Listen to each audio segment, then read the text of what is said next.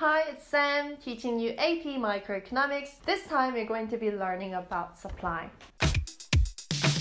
And remember the law of demand when the price increases, the quantity demanded of the good decreases. But imagine that you're a seller, that means you supply something. Would more people try to supply something when a good is cheaper or expensive?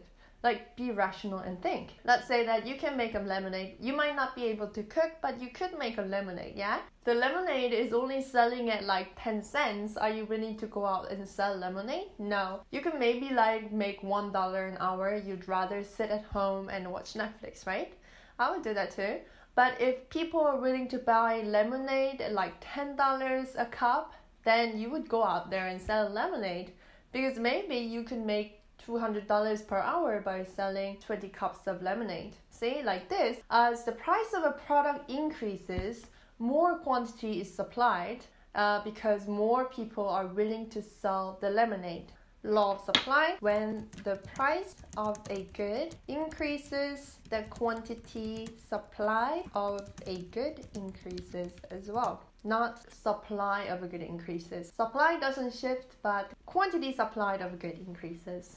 Remember the reasons why demand was downward sloping? Because of substitution effects, income effect, and diminishing marginal utility. Here, supply curve also has a reason for its upward sloping shape, but it's a little bit more simpler than demand. This is P, Q. The supply curve will look like this.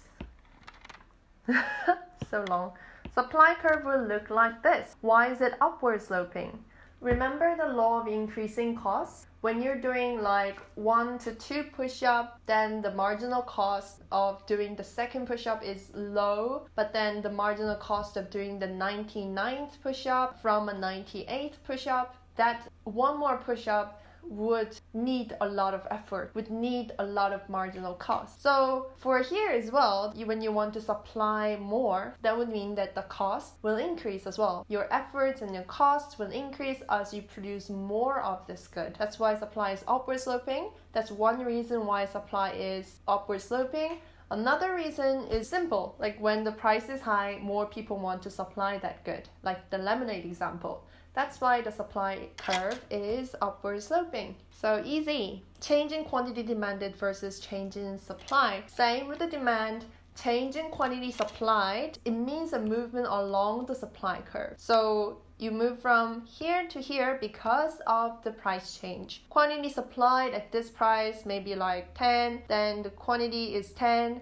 Quantity supplied at $20 will be 20. So the higher the price, the more suppliers there are, so there would be higher supply. That's changing quantity supplied. And change in supply. Change in supply means just a shift in supply curve. Just like shift to the right, it means supply has increased. Because remember, as you go to the rightward, the quantity, the quantity gets higher. So the supply shifting to the right like this would mean they are supplying more. Supply shifting to the left like this, it's not upward but left. It would mean that they supply less. When the supply curve moves to the left of the quantity, there is less quantity. So supply shifts to the left, it means less quantity. Supply shifts to the right, it means there are more suppliers, more people are supplying.